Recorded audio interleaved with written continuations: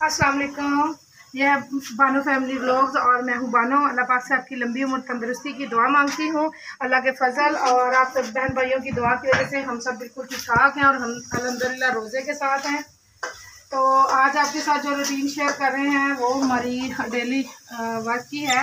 अफ्तारी के लिए मैं बना रही हूँ आज करेले। ये है प्याज। ये अलग से भून रही हूँ, ठीक है? थोड़े से ऑयल में। थोड़े से घी में। और ये हैं करेले। ये देखें मैंने कितनी नफासत के साथ बारीक बारीक काटे।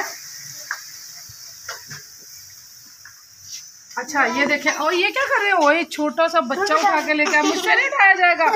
ये देखें, इब्राहिम छोटे से बच्चे को हम में है तो वो छोटा सा अभी बेटी है तो उसको उठा के लेके आया मुझे तो डर लग रहा है कि ये गिरा ना दे।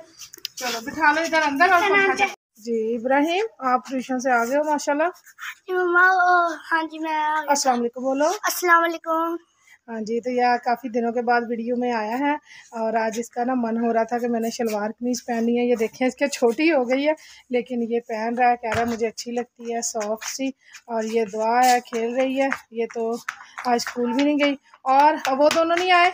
उनका अभी काम हुआ उनका अभी छुट्टी नहीं हुई। अच्छा तो फिर मरियम आके ये सेंध होएगी ठीक है? चलो फिर आप खेल रहे हो और ये क्या कर रहे हो? हाथ में दिखाओ। तस्वीर। अच्छा ये तस्वीर है जो कर रहा है। बड़ा भी ये मैंने कर ली है। कितनी? छः हज़ार सतारह छः हज़ार एक सौ सतर अस्तगफिरुल्लाह मुझे तो तुम पे यकीन नहीं है। चलो तुम कह रहे हो तो मैं मान लेती हूँ। इट्स ओके अब आप खेलो ठीक है? तो माशाल्लाह ये भी आ चुके हैं अब ट्यूशन से। अस्सलाम वालेकुम बोलो बेटा। अच्छा।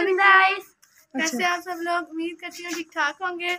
हम सभी बिल्कुल ठीक ठाक हैं। और आप भी? अच्छा ये थक के आया है। चल। ये तलने वाले एक पूरी इधर रहता है मेरा ठीक है? ये भी मैं तल लूँ उसके बाद फिर मैं इसको मसाला वगैरह तैयार करके इसमें मिक्स करूँगी ठीक है?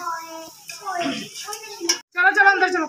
मैली नहीं होती जमन मेला नहीं होता। मोहम्मद के गुलामों का कफन मेला नहीं होता।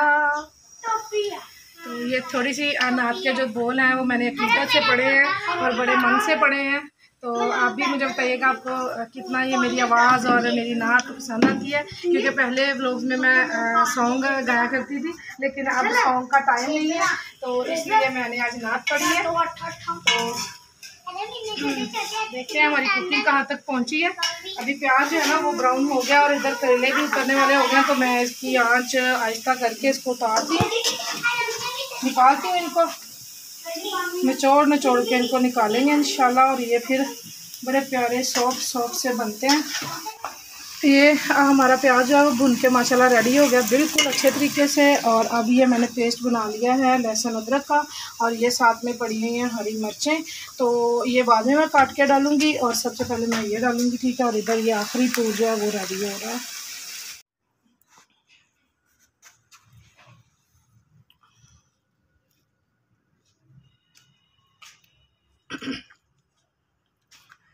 ये सोगी है तो मैं इसको छिलके इसके जो से छिलके नहीं इसकी डंडियाँ डंडियाँ होती हैं वो हाँ। उतार के रख रहा हूँ हमने थोड़ी सी फ्रूट चाट भी बना ली हाँ। ये इब्राहिम की बड़ी पसंदीदा फ्रूट चाट होती है। और मरियम ट्यूशन से आके काम कर रही है। क्या कर रहे हो मरियम? मैं खिलाड़ा उठा रही हूँ और हाँ। धोने लगी हूँ सारा सहन और कमरा भी? चलो ठीक है कर लो फिर जल्दी से। पाइप पाइप उतार के ले जाओ बेटा। रोज़ा लग रहा है आपको? जी। जी इसका रोज़ा लग रहा है। माशाल्लाह ये भी रोज़े रख रही है मैं भी रख रही हूँ। उसके पापा के हमने बीच में से छुड़वा दिए थे रोज़े और ये इनकी यूनिफॉर्म है ये अब धोएँगे कल को। संडे है। चलो पाइप उतार लो उधर से और फिर शुरू कर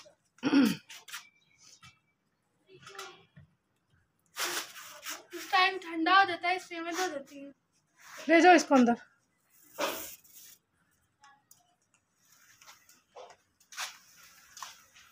ये धोएगी और मैं थोड़ी कुकिंग कर रही हूँ। अभी मैंने रोटियाँ बनानी है। चलो ठीक है फिर। तो जी देखते हैं अफ्तारी तैयार हो चुकी है। जी अफ्तारी तैयार हो गया। टाइम बहुत थोड़ा रह गया। ये है आ, चिकन और करेले। ठीक है? जो कि हमने आपके साथ शेयर की थी। रेसिपी आधी शेयर की थी आधी नहीं की है। ठीक है? ये है हमारी रोटियाँ। और मैं मैं हमेशा रोटी के साथ ही रोज़ा अफ्तार करती हूँ, उसके उसके अलावा मैं नहीं कर पाती हूँ, क्योंकि फिर पानी जो है ना, वो मेदे में जाके दर्द करता है। मैं तकरीबन चार या पाँच नौ वाले रोटी लेती हूँ, खजूर आदि खा के रोटी खाती हूँ पाँच नौ वाले, उसके बाद फिर मैं लस्सी या पानी, आज लस्सी भी नहीं है, पानी है ठंडा, और ये मैंने थोड़ी सी फ्रूट चाट बनाई है। तो इसमें क्या मैंने ऐड किया है? एक तो ये बनानाज है, केले हैं और ये किशमिश है और तीसरा ये जो है, ये आलू हैं। छोटे छोटे क्यूब्स में काटे हुए हैं इस तरह। तो ये बहुत प्यारे लगते हैं, ठीक है? ये इसके बाद इसमें ना मैंने मज़ेदार सी चटनी बनाई हुई है इमली की, खुबानी की। वो मैं इसमें ऐड करती हूँ, लेकिन अभी नहीं ऐड करनी क्योंकि वो फिर पानी छोड़ देती है, ठीक है? और ये बच्चे भी बैठ गए, इनसे कहते हैं कि आप दुआ मांगें। तो चलो दुआ मांगो, मैं भी दुआ मांगती हूँ। तो आपको इसका नाम दुआ इसलिए कह रही है, दुआ मांगनी है। तो अगर आपको हमारी वीडियोस अच्छी लगती हैं तो प्लीज़ हमारे चैनल को सब्सक्राइब लाजमी कीजिए, हमारी वीडियोस को शुरू से आखिर तक देखिए और हमारी वीडियोस को अपने दोस्तों में, जाने वालों में शेयर कीजिए, ताकि आपके ताउन से हमारी ईद बहुत अच्छी हो जाए हमारे रोज़े भी बहुत अच्छे जा रहे हैं। अल्लाह का शुक्र है। एक बात मैं आप लोगों से कहना चाहती हूँ, रोज़े के अवतार के वक्त कि जिस हाल में भी अल्लाह रखे, उस हाल में खुश रहना चाहिए, अल्लाह से शिकवे नहीं करने चाहिए। अल्लाह पाक बहुत अता करता है। तो अगली वीडियो में मिलते हैं, तब तक इजाज़त है अल्लाह हाफिज़। बिस्मिल्लाह।